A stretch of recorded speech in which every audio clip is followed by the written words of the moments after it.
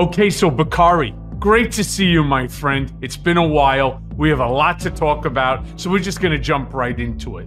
See, I'm sure that you've heard Trump's recent comments about bloodbath and all that, but he's in the middle right now of four criminal trials. Yet, he manages to say those things without any consequence at all.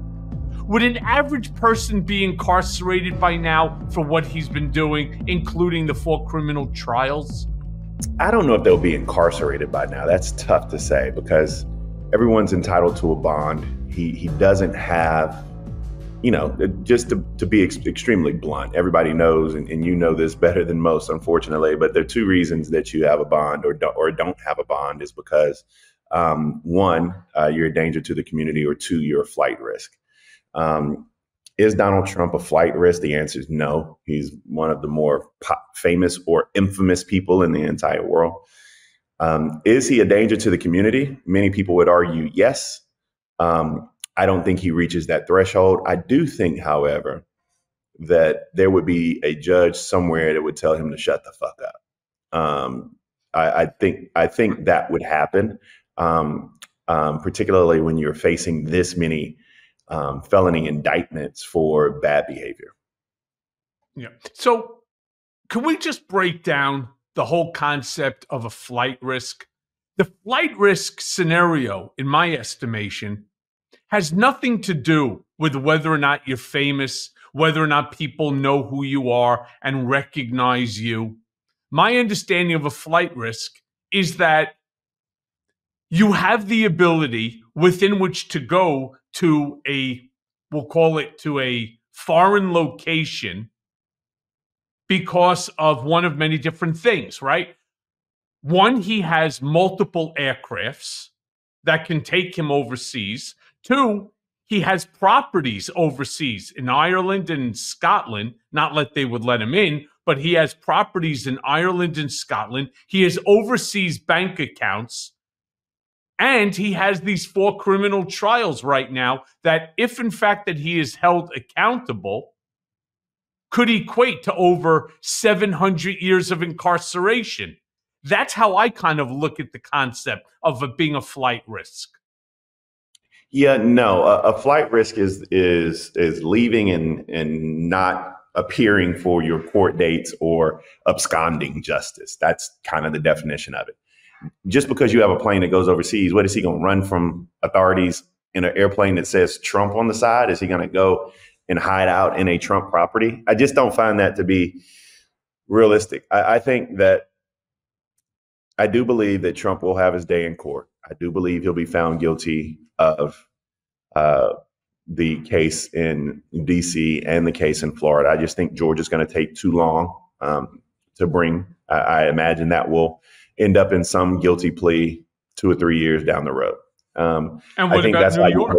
The, huh? And what about New York, the first case that's going to end up going to trial and possibly the only one?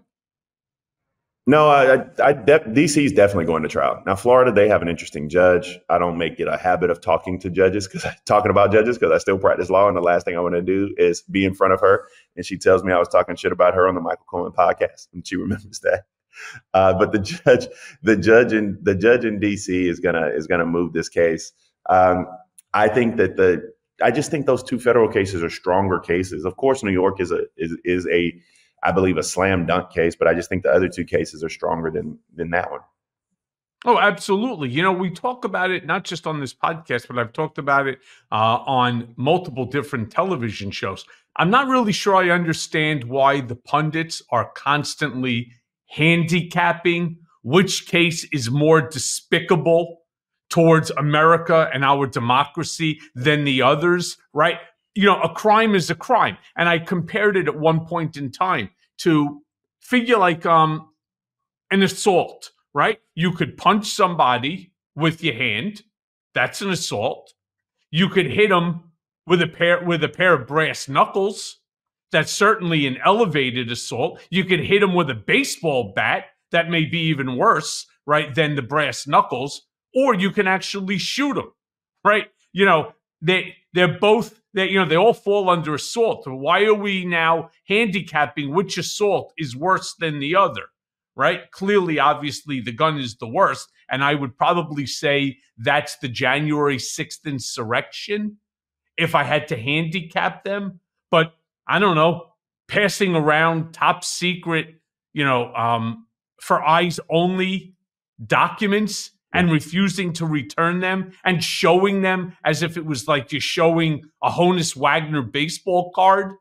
I don't get it, but I don't know why we're constantly handicapping which one is more illegal than the other. A violation of the law is a violation of the law.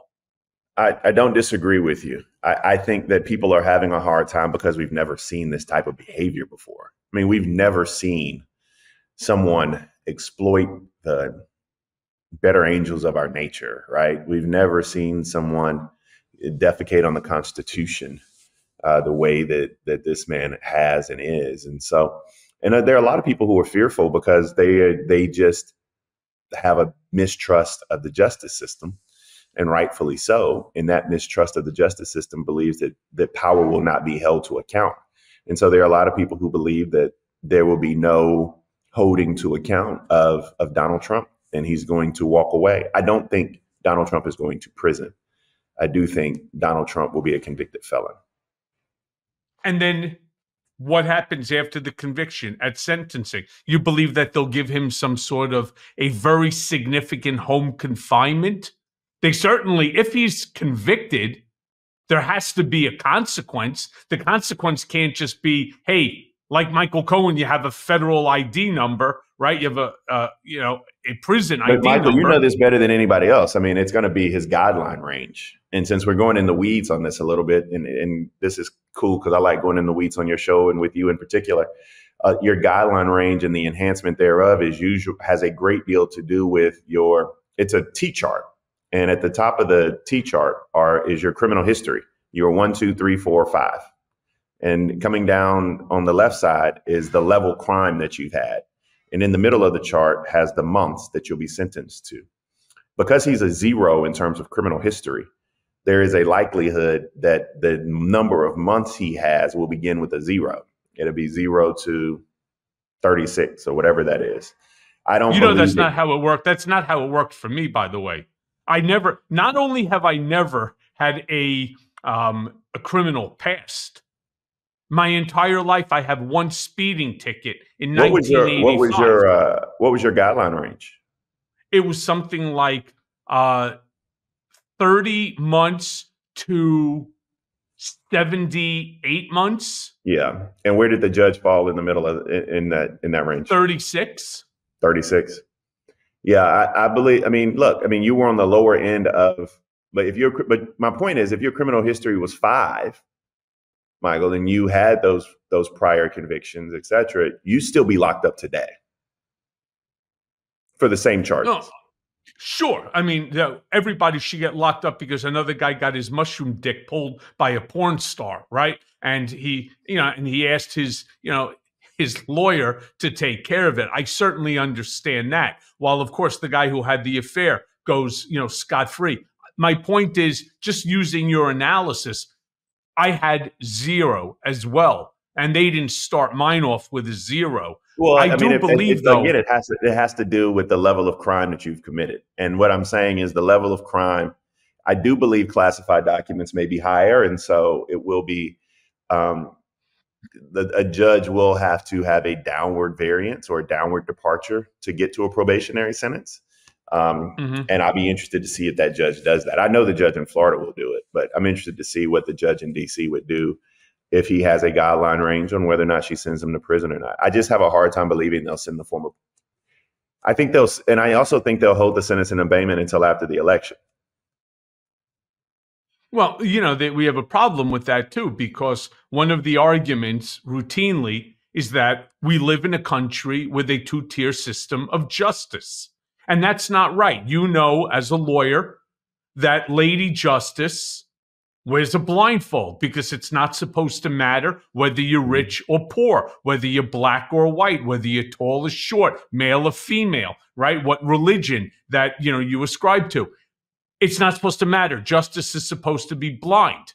And to others in New York, as an example, who have been found guilty of business record fraud um, and some of the other charges that they've now raised against him uh, by the Manhattan DA, these people do anywhere between, say, 13 months or a year and a day and three years. So, like you, I am curious as to what the sentencing will ultimately be. It could work one of two ways. You're right. It could work that because he's the former president, he's running, that we have to extend him yet again, despite all of the shenanigans and horse shit that he's pulling in the courts. We have to extend him certain, um, let's just say, you know, uh, c- certain latitude that yeah. they would not extend to the average person.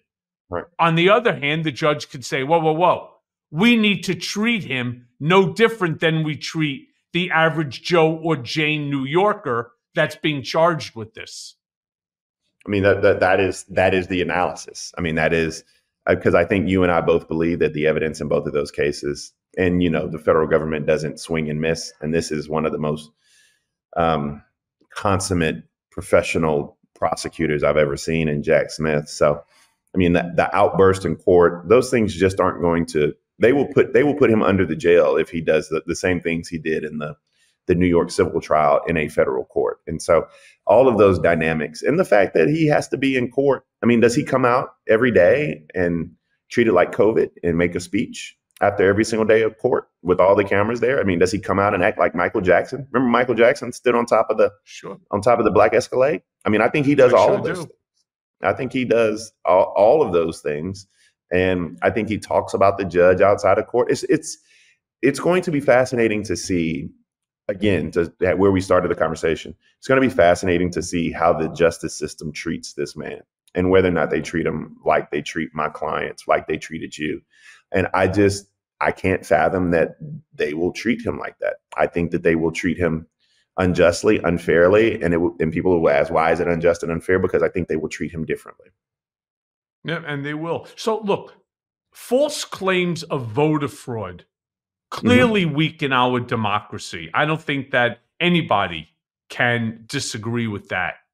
Are you, Bakari, concerned about how Trump and MAGA world have already started to circulate the big lie again? Yes, but I'm also interested to see how many from MAGA world actually make it onto a ballot. This next few months is going to be important for democracy. And the reason being is when you have people like Kari Lake on a ballot, who's nuts, by the way, um, when you have other individuals who are on a ballot who ascribe to those notions, those individuals weaken democracy. And I'm trying to, I'm interested to see if they will still carry the same weight in the in the uh, in the Republican Party and particularly in the primary system and emerge as candidates for United States Senate or Congress, et cetera. Because if he has a lot of warriors on the battlefield who are asserting the big lie, that becomes more of a dilemma for us. Yeah, you think? I mean, again, the Donald Trump playbook it's so easy to understand. There's never anything new or novel about what he's doing or saying. He knows he lost in 2020. He can't acknowledge or reckon with the fact that he lost to Joe Biden, let alone anybody, because he's a winner, right? All the time. We're going to have so much winning. There's going to be so much winning that you're going to get sick of winning.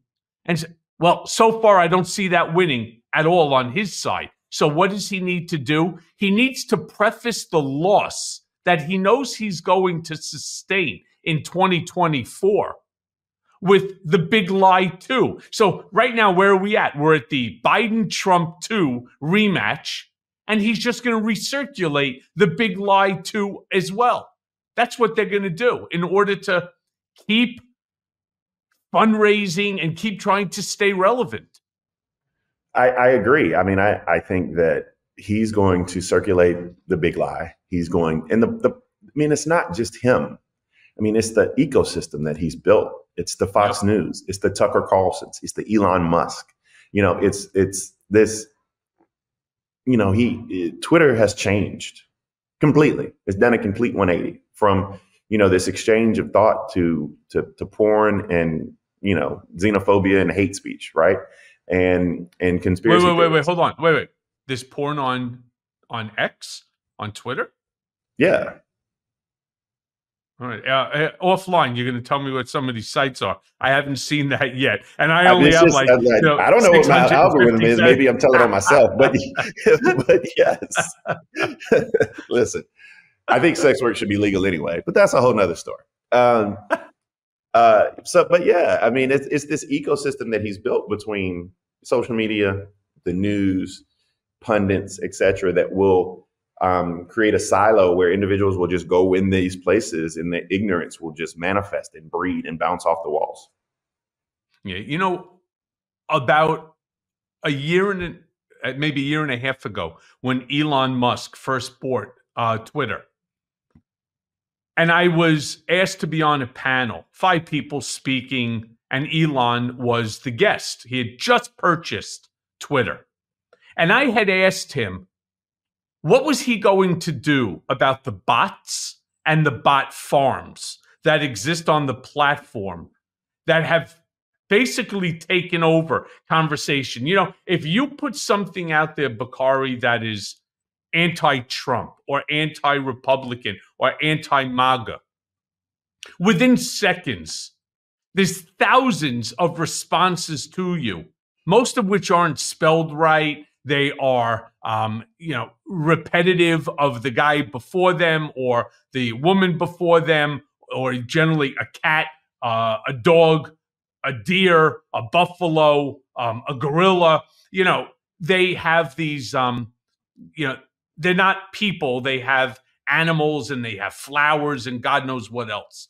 Anyway, these are all being paid for by bot farms, and their sole purpose is to change the conversation. So I asked him what he was going to do about it, and he said that they're working on a couple of solutions. I gave him one, which was create a two part authentication for each of those um, for each of those accounts that would prevent them from opening up thousands of accounts under the same like email address or what or what have you. And of course, they didn't do it. I think X right now has fallen as a platform of legitimacy. And that actually saddens me because whether you agree with me or not, or whether I agree with the other person on the platform, at least you could exchange ideas. But you kind of knew that you were speaking for the most part to another live individual and not a bot.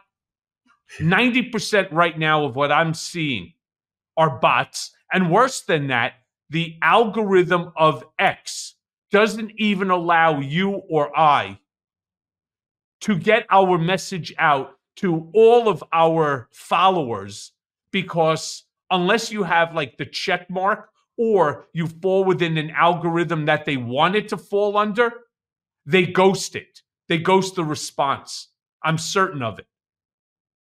So look, I, I, don't know where I fall in the spectrum of X anymore. Um, when it was purchased, I had, I'm gonna pull it up. I had 400 and had 405,000 followers. Um, I now have 398,000 followers. And I have not only lost followers, but I gained followers at about one one follower a day average now. Um, and so I don't want to say I'm shadow banned or anything like that. I don't know what I am, but you do know that voices of change, progressive voices, etc., are all muted on. Um, there are people who tell me all the time I don't even pop up in their feed anymore, and that's that's just troubling. But you also know what type of person Elon Musk is for a couple of reasons. Number one, this is a bad business deal they're hemorrhaging dollars and losing a bunch of money on X since he bought it. Number two, you saw how he behaved when he was trying when he was held to account by our good friend Don Lemon.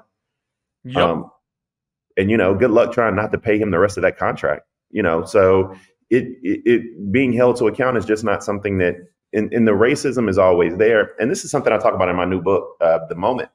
Um, you know, we we've kind of browbeat ourselves into not even becoming desensitized to Russian interference in the 2016 election, uh, 2020 election. Um, but there were entire farms, like you were talking about, that were their sole focus was to stir up animus within the black community, particularly black male voters, um, and spread misinformation and disinformation. I fear that you know who they just brought on the campaign again yesterday. Did you see who got hired on the Trump campaign? I did. Paul Manafort. Paul Manafort. It, it's it's eerily similar to the same playbook all over again, and um, you know he was you know, he, I guess I, it's, I don't know how to describe people who've been pardoned. I should know this. My dad was pardoned. I guess he's still a convicted felon, but bringing back a convicted felon when those type of foreign ties who've already been convicted by a jury of his peers for um, atrocious behavior to do the same thing over again is is nerve wracking for me. No, and it should be for everybody. By the way, if you get pardoned, that felony goes away. You know, uh, the whole the whole thing kind of gets expunged. You know, by presidential, from my understanding, you know, it's by presidential proclamation. That's really what the pardon, uh, what the pardon is all about. Um, but I'm still hoping for one from Biden. So we'll see. Because rest assured, I was never getting one from Donald. That's for sure. Now, had I kept my mouth shut, had I done nothing, had I refused to speak, clearly I would have gotten one even before Manafort did or Roger yep. Stone or any of them. But I didn't feel that that pardon is as important as America's democracy. And I made a decision myself early, early, early on that my wife, my daughter, my son, and my country have my first loyalty. And I wasn't sticking around for, you know, for that option. Though I will tell you, my life would certainly be much easier right now. Yeah, uh, listen, you. Um, I mean, you were courageous, and I don't use that word lightly, because you have a beautiful family, beautiful daughter, and you um, were taken away from your family. And that's what people have to realize. You were taken away from your family um, for doing what was right and owning up to your mistakes, and that that yeah. that is called courage. Yeah, it's, it's it's not just I who suffers. You know, my I have a son also who is an amazing, amazing uh, baseball player, big, tall lefty pitcher, and I mean, you know, he he was training since he was five years old. His dream was to play in college, and that's where I was at USC doing a scouting uh, interview with my son and the coach when they said I was in Prague. And that's the crazy thing because then the FBI went there, spoke to the coach, and he said, "Nah, they were here the other day. We, you know, we were putting him through, uh, through this, he, his son through drills, and he was sitting right there on the, you know. And then afterwards, the following day, I went over and I hung out with uh, Harvey Levin uh, at TMZ on his new set, and they asked them too, but nope." Nobody wanted to talk about the truth on that because it didn't fall within the narrative that Donald and Barr and the rest of them had all set up, which was to hold me, to push me under the bus, accountable for Donald's dirty deeds. But speaking about being held accountable, dear old Donald von Schitzenpants can't post the $464 million bond in the New York civil case, right? Our unsinkable New York Attorney General, Tish James. And Tish turned around and said, that she is ready to start going after his assets. No matter how she extracts value from his properties, Republicans are going to say that it's a political hit job. How do you think that she should best proceed with this? Oh, she's going to stay focused. I mean, I listen. I, I, I ain't going to be giving Tish James no advice. She's done her job very, very well. uh, I think that that Donald Trump's going to have a problem I think the fact that he can't post the bond is not a. I thought there would be one company out there, at least one of the 30, that would help him out in this situation. Boy, were we wrong. Um, I, I, think that she will begin the process of seizing his assets.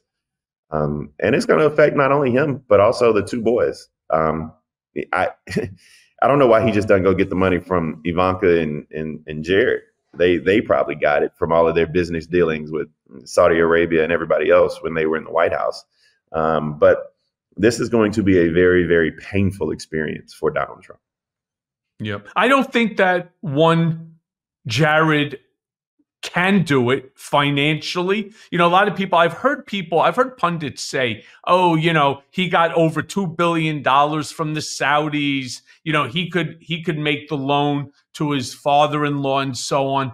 And I'm going to tell you, they clearly don't understand what a money manager is. Just because the money manager, Jared, has 2 billion of commitment from the Saudi Investment Authority doesn't mean that he has access and control to use that money any which way that he wants.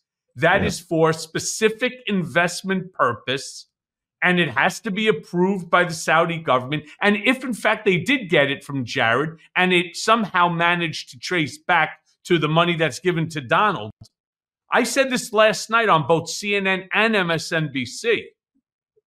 That's a bigger problem for us as America than even the fact that a former president has been indicted four times on criminal charges because it would mean that if God forbid a million times that he ended up back in the White House, he yep. would be indebted to a foreign country. Correct. And rest assured, they would call in that favor. No question. I think that's the biggest problem. I mean, even if, let's say he's indebted to a bank or a family office, Think about the favors. When they pick up the phone and call him, he has to do what they say, or else they call that loan. I mean, that's a, you're you're highlighting a fundamental problem of having this type of significant debt while you're running for, or God forbid, being president of the United States. And this is a very, very, very, very close race. Yeah, I don't think it's as close as people think. I know that the polls want to show it that way. It certainly keeps everybody glued to the television and to their new favorite news channel. But I don't think it's as close as possible. You know, I saw the other day as well. Um, eh, who was it? Oh, uh, uh, Harry Enten, uh, who I think the world of. I've had dinner with him a couple of times. Uh, he's a funny as hell guy. But he was talking about how the black community are increasingly being drawn to Donald Trump and away from Joe Biden. And I scratch my head and, and I say, how is that even possible, considering the racist comments that are continuously emanating from that gigantic gaping hole underneath Donald Trump's nose that makes his asshole jealous? He is constantly saying racist shit. He has no affinity or he has no affection towards minority communities. Why in the world would they be leaving somebody like Joe Biden, who is an empathetic individual, who actually cares about America and American values and democracy, versus a guy who, again, cares for no one or anything other than himself? The answer is they don't. I, I, don't believe the polls about black voters at all either. I mean, I, I think you're right. I think the polling has been very skewed. I think, I mean, it's, it's just troubling the way that people have this perception that Donald Trump's going to get more than 20% of the black vote. He's just simply not. Um, that, or the, and, and the analysis, yeah. The analysis is not Donald Trump versus Joe Biden. The analysis is Donald Trump versus Joe Biden versus the couch.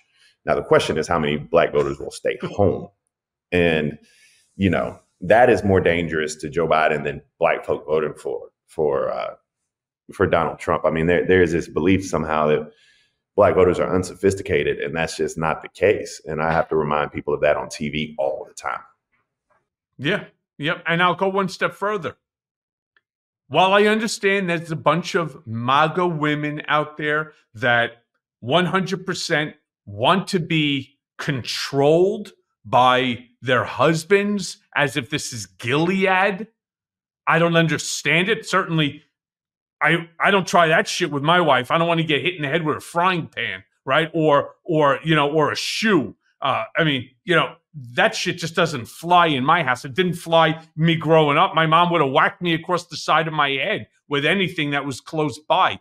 I don't understand it, but what I do understand is that even those women don't understand what Trump and his now newly Supreme Court um, judges or the IVF scenario, the overturning of Roe, and it's it's more than even just the overturning of Roe. It's even more than the nonsense that they are trying to impose regarding uh, in vitro fertilization. It's the fact that Donald Trump takes pride in the fact that it is only because of him that he was able to overturn Roe v. Wade and stare decisis that existed for 50 years. He takes it as a badge of honor, as if he invented the cure to polio. Yeah, and it's going to be a problem for them in November. And I think that there are going to be a lot of white college educated women who live in the suburbs of Michigan, um, who live in the suburbs of Philadelphia, who live in the suburbs of Milwaukee, Raleigh, Durham, Phoenix, Arizona, Las Vegas, Nevada, that are going to um, that are going to take Donald Trump down in this election. Elevate every morning with Tommy John second skin underwear. What you put in your pants can make or break your day. And the luxurious support of second skin guarantees everything will go smoothly.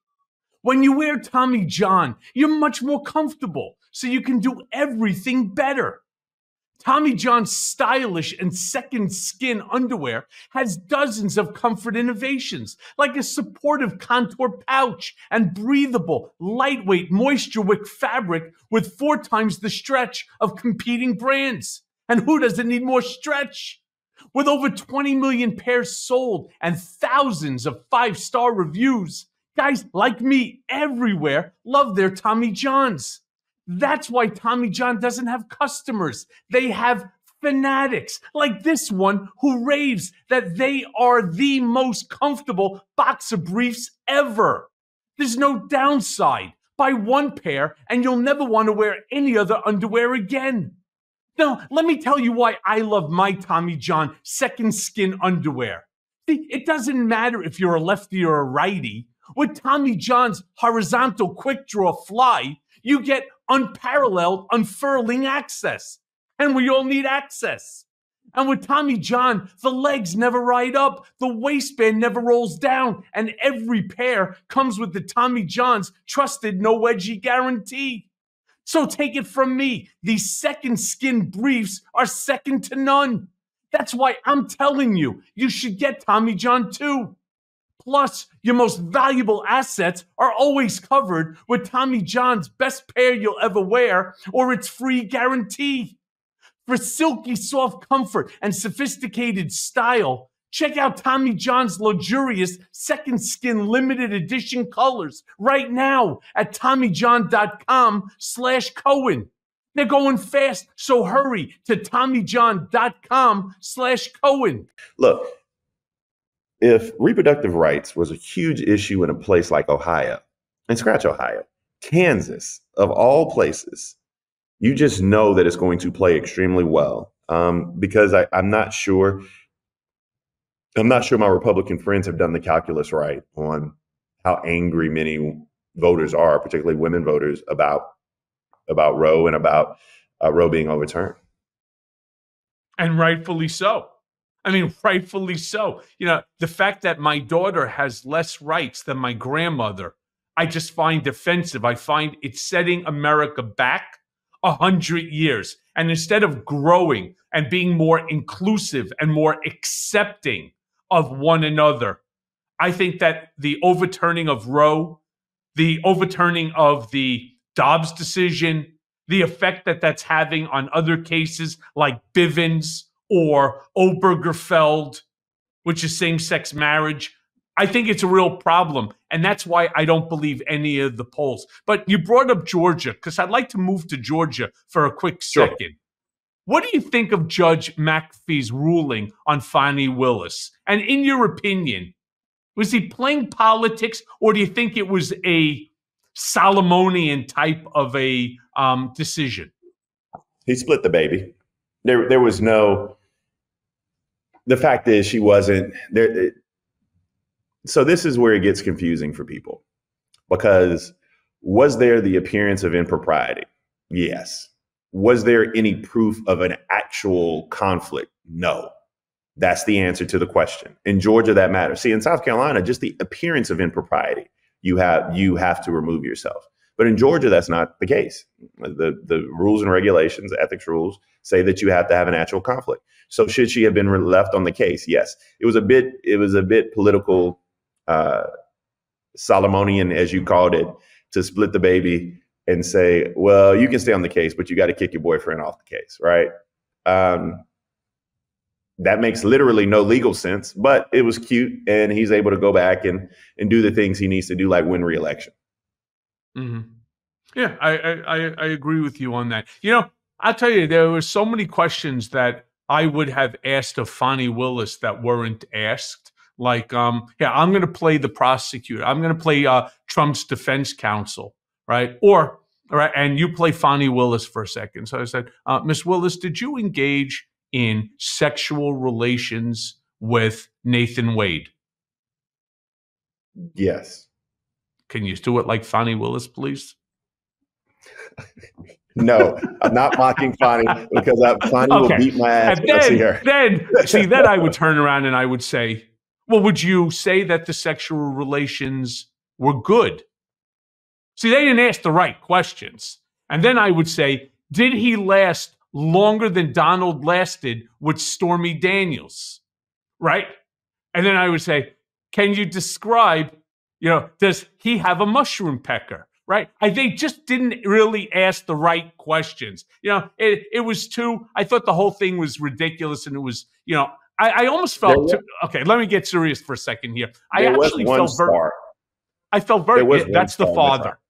Yep. Her father, her father was a superstar. Her father reminded me of, he's very, very smart, competent lawyer taught her a lot of life lessons reminded me of of my uncles and everything. And it was just kind of fascinating to it was fascinating to see um, uh, him have to go up there and go through this and have to educate the um, have to educate the the the the masses about culture and his daughter. And you know she's still there and the, the problem that Donald Trump and them have is they pissed her off. So now the person that you have to go to for deals and stuff like that, she's going to be less likely to do that because you just drug her ass through the mud. Yeah, I mean that's the, that's the point I was trying to be um comical about. I found the whole thing to be absurd, really upsetting. I found it to be absurd. You know, she is the DA. I could understand the appearance as being inappropriate but I'm still trying to figure out how their sexual relationship, whether it ended before or after, right? To this day, I still obviously don't know. I wasn't there, so I don't have any firsthand knowledge on any of that. But how any of that has any bearing at all about bringing a case against Donald Trump. In fact, if Nathan Wade wasn't competent if I was Trump's attorney in this case, I would want him to stay on the case because his incompetence, like the way that Trump's lawyers, like an Alina Habba, have ended up resulting in a loss in every single case that they are attached to. I would want him on the case. That's why I'm not mad at Alina Habba for going to the. Not isn't she with the RNC now? She's like their general counsel now. I have no idea what she is. She's general counsel. You have uh, Christina Bobb, who's another one that's attached no, Christina Bobb yeah. is the one who's going to, yeah, that's the one who's going to the RNC. But I, yeah, I don't mind either one of them. And Lara Trump, come on.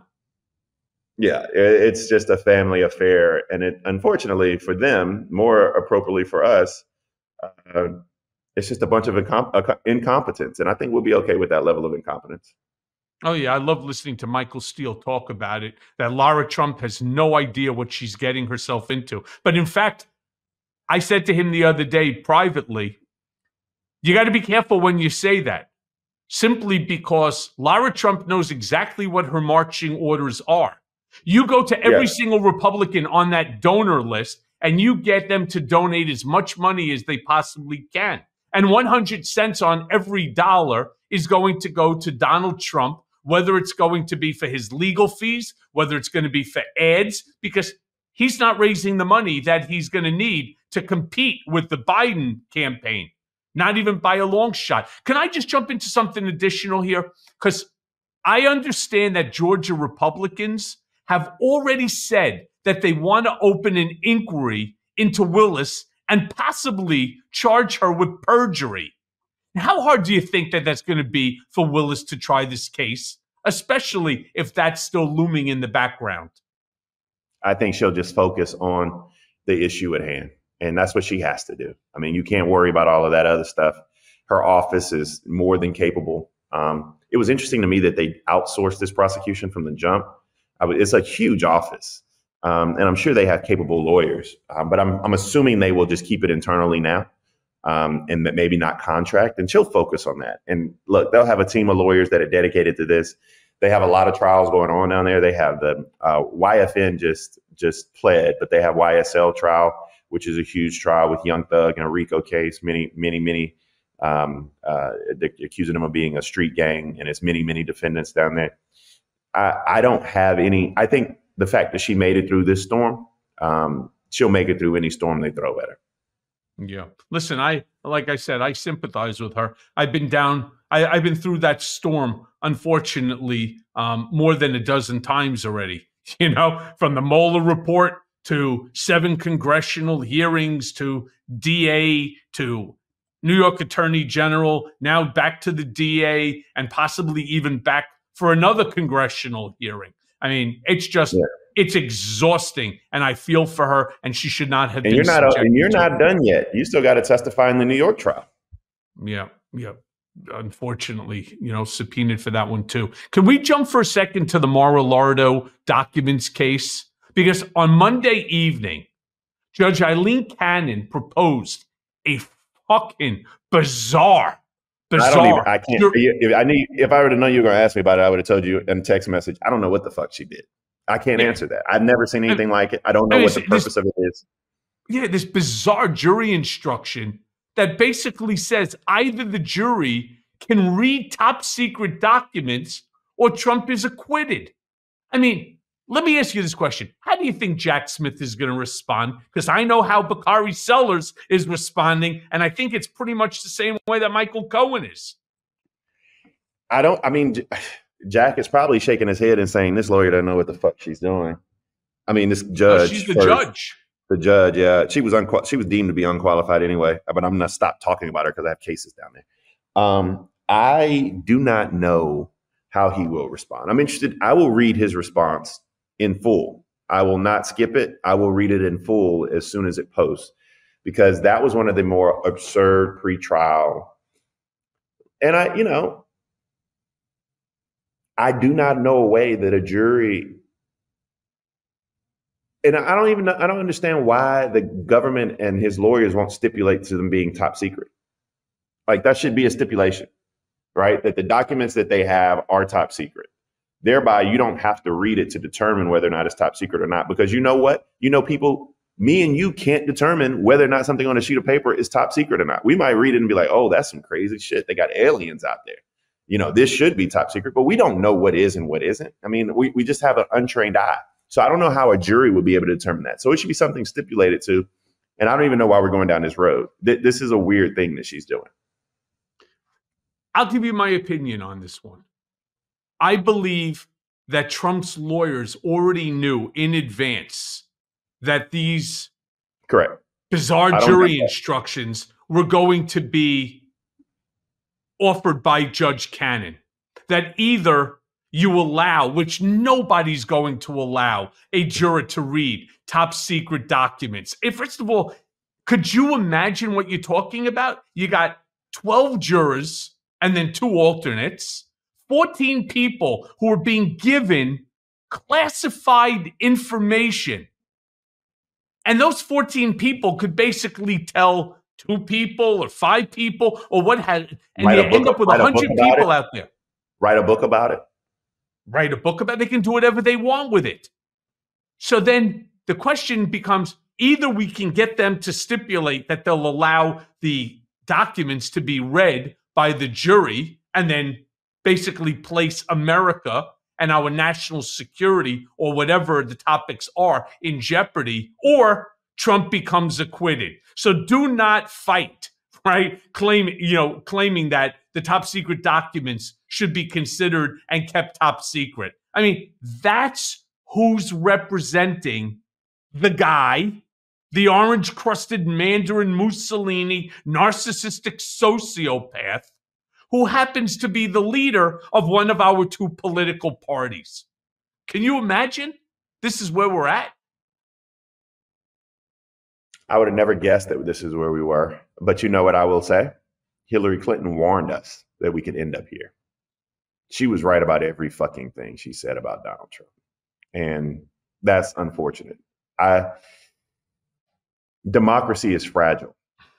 I think we've learned that. She's very, very fragile. And one man who's a bull in a china shop who doesn't care about anything but himself can rip her away at the threads. And that's what he's trying to do. Yeah. And then, of course, you got the Supreme Court. Except recently, right, the Supreme Court determined that they were not going to hear Trump's immunity case until late April.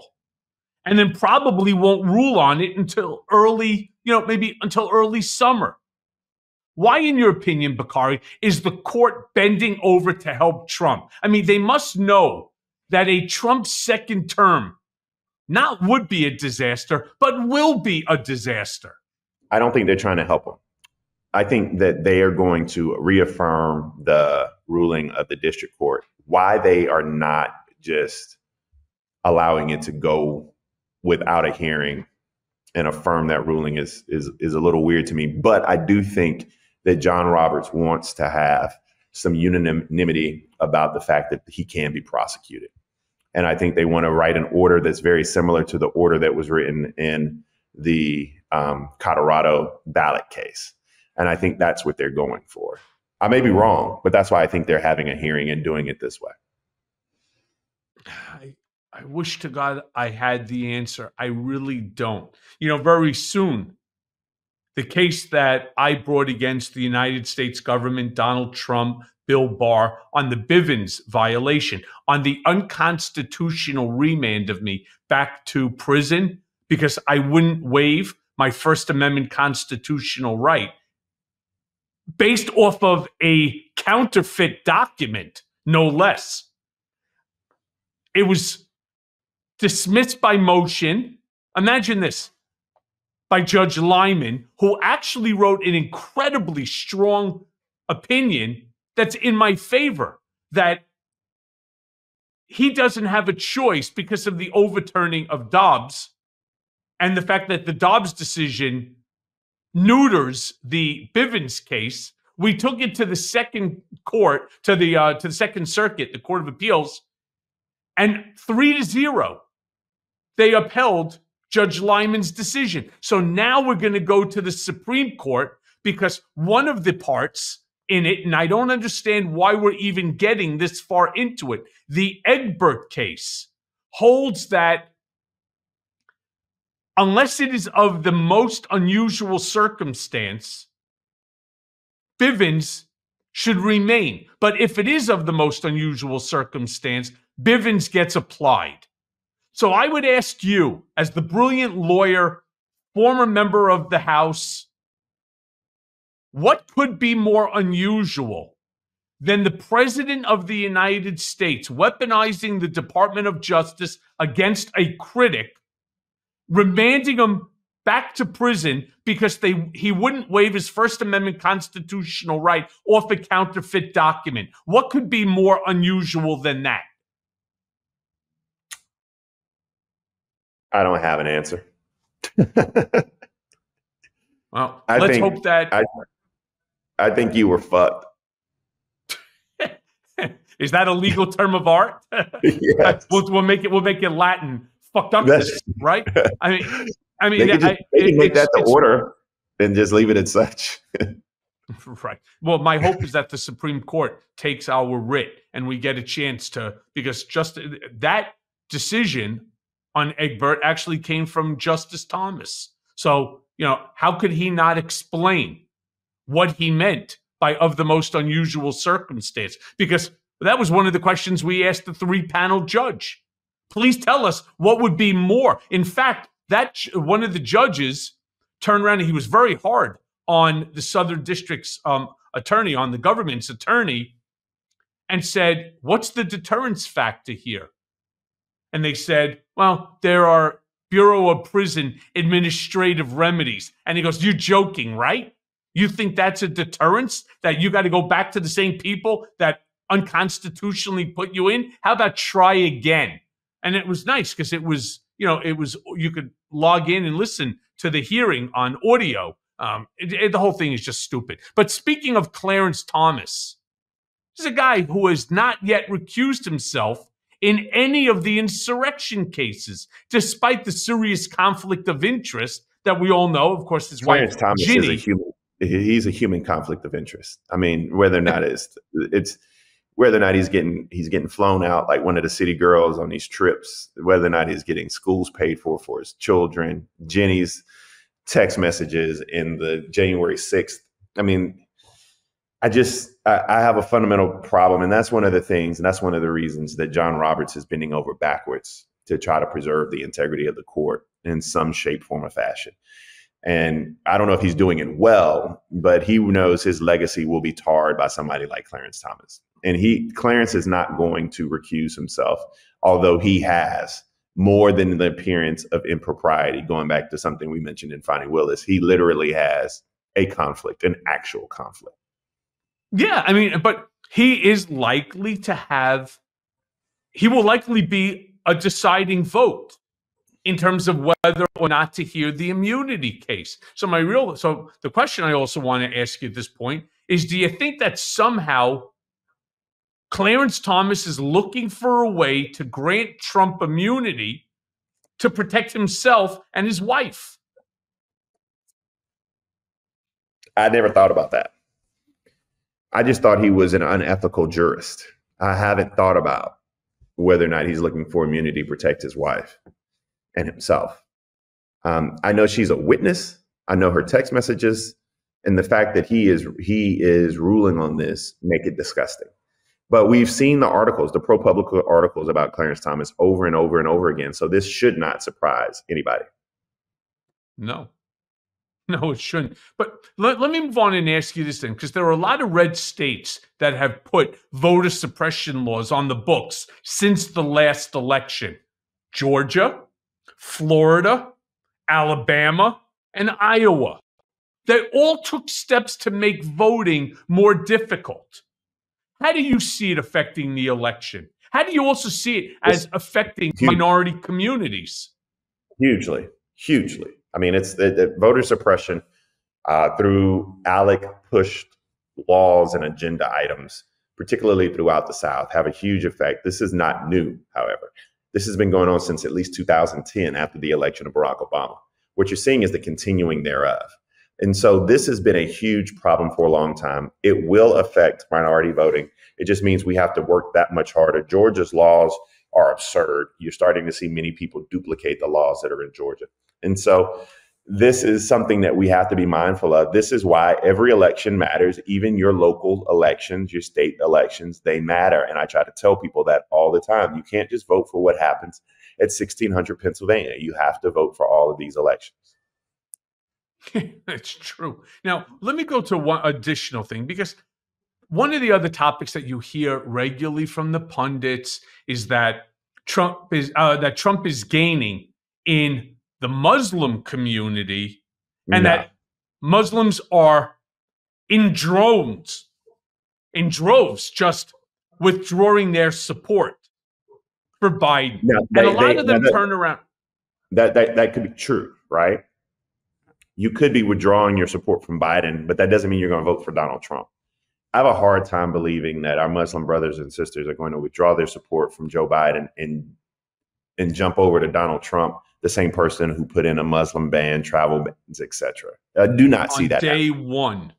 On day one, it was the first bill that he tried to pass, and of course, when I was with him in the Oval Office, he blamed it on Steve Bannon and Steve Miller. But I say that to my friends who are Muslim all the time, and you know, and I, I say I say to them, I don't think you I don't think you understand what you're even saying here. You're talking about a guy who you're angry at because of what's happening right now in Gaza. I'm curious though, how do you think that the Biden administration and Chuck Schumer you know, who came out the other day and was very critical uh, and, you know, withdrawing their support of Netanyahu. How do I you think, think that that's going to play to the community? Like they always talk about the Muslim community in Michigan. How do you think yeah. that that is going to is going to play in terms of trying to win back those voters? Yeah, I think I have a problem with the framing of the discussion that we have many times around what's going on in Gaza because there are many people who ask for a ceasefire, but many times those remarks are just one way.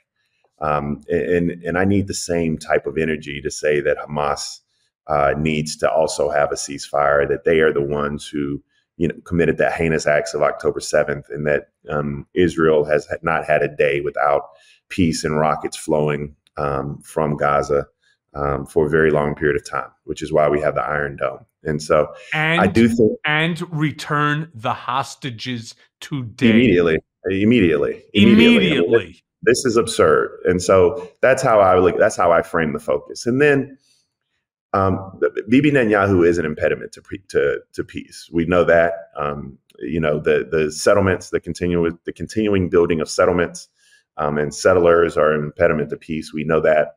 Um, but I think that the Biden administration gets a cessation of fire before um, the election, and I think that helps a great deal. I totally listen. I totally agree with you. Can I ask you this question because you and I have had these sort of similar conversations offline over the now many years that you and I know one another. Except it's on a much broader basis because to me, it seems like much of the world has forgotten that civil rights are a good thing. What do you attribute the rise of popularism around the world to be? What's ca- what's causing this? Fear. Fear of the browning of this country. Um, I think that you have fear of being replaced. I think that you have fear of the unknown. I think that there are a lot of people the way that I define supremacy is people who think equality is oppression. Expand on that, would you?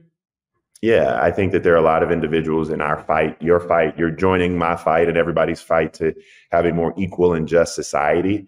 They feel like when other people have those same opportunities that they've had for generations in their entire lifetime and lifetimes before them, that somehow they are now being oppressed. And that feeling uh, that that equality to them feels bad and feels wrong when other people are just trying to eat from the same plate.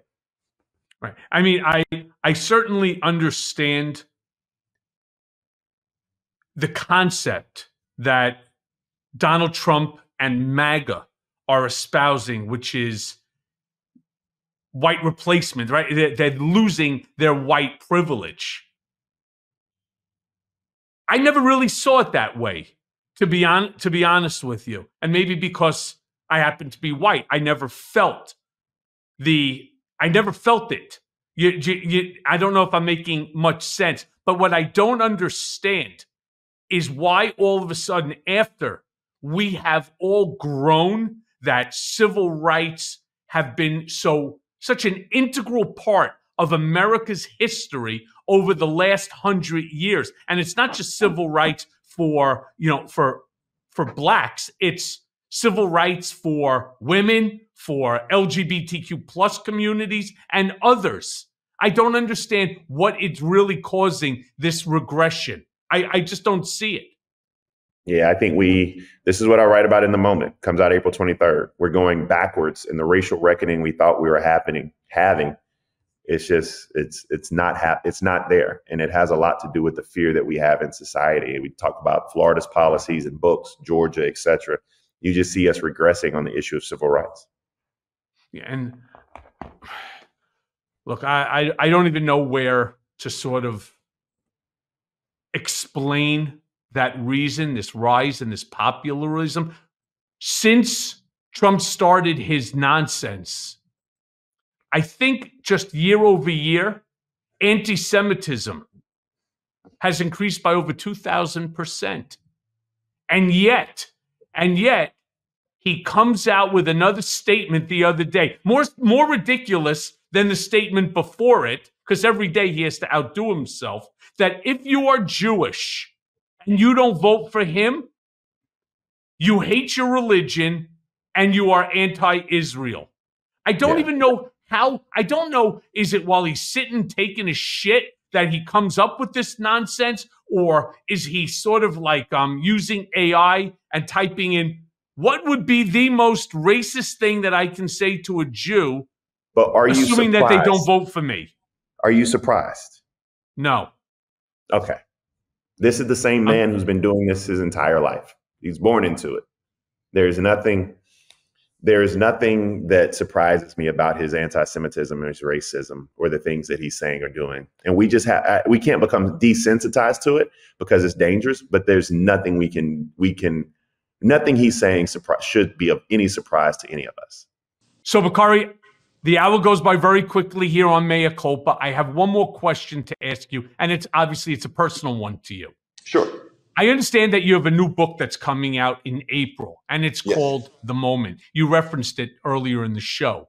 If you can, what can you tell us about the book? If you give me like one or two interesting tidbits about the book, and what really, why did you decide to write it, especially at this moment in time? I was a little bit fearful of, of where we are as a country and where we're headed. It, it ties right into the conversation we're just having. And I was so, and maybe I shouldn't have been, but, but I was so excited about the direction of this country post George Floyd. Um, and then we, we were going through this moment of emerging from COVID, and we didn't really learn our lessons from COVID. We didn't learn about the systemic inequities that we're, we're dealing with. We did not learn our lessons from George Floyd. And we're starting to see regression on the issues that I care about issues of justice, issues of peace, um, issues of equity and equality. And so I wrote The Moment. Um, and, you know, I think it gives people a look good, it's very, very, it's very provocative. Um, and I challenge people in their thought process around those individuals like Tucker Carlson. I challenge their thought process around individuals like, um, like Stephen A. Smith and Ice Cube and others. Um, and so for me, this is just a way to, to get my thoughts out there. It comes out April 23rd. I actually read the book as well. So if you want to get the audio version, get it. But thank you, uh, Michael, always for supporting me. You, listen, you know, I'm a big fan, and I'm going to recommend that everybody um, get the book The Moment because rest assured, um, Bakari is truly a special guy. And Bakari, let me thank you for joining me on Mea Culpa. Thank you for all that you're doing. Thank you for your your um, advice and your intellect. Appreciate you, my friend, and I will definitely be having you back on the podcast very, very soon because we have a lot to talk about.